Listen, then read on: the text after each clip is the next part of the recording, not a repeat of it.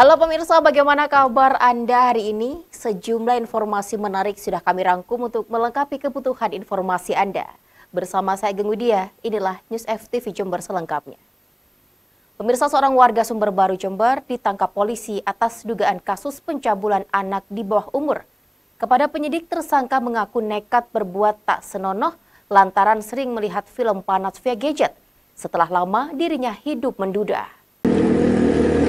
BS pria 47 tahun warga desa Pringgowirawan, Kecamatan Sumber Baru Jember, Sabtu pagi tak bisa berkutik saat digelandang ke ruang penyidik reserse kriminal kepolisian sektor setempat.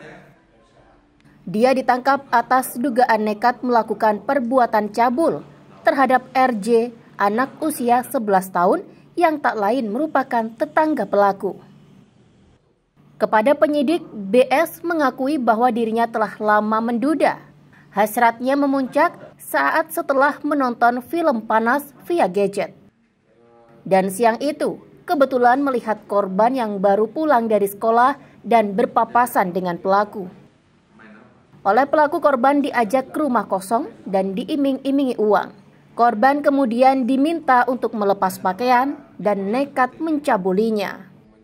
Atas kejadian yang menimpa itu, korban trauma dan ketakutan lalu lari menceritakan kepada orang tuanya.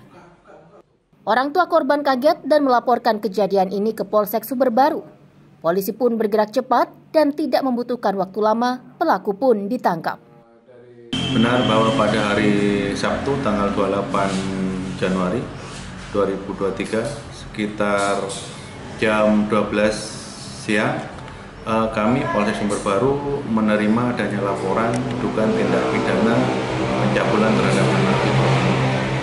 Uh, setelah itu kami melakukan penyelidikan, pemeriksaan saksi-saksi dan melakukan gelar perkara saat itu juga sehingga kami melakukan penangkapan terhadap uh, warga atas nama BS usia kurang lebih 46 tahun yang diduga sebagai pelaku pencabulan tersebut. Uh, ada kemungkinan pengaruh dari nonton HP, apa namanya main HP, nonton HP mungkin ada film-film porno di sana, situs-situs porno di situ sehingga merangsang mereka untuk melakukan perbuatan cabul.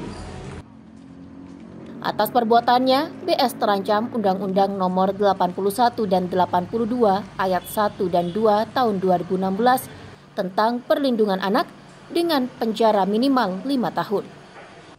Tim Liputan News FTV Jember melaporkan.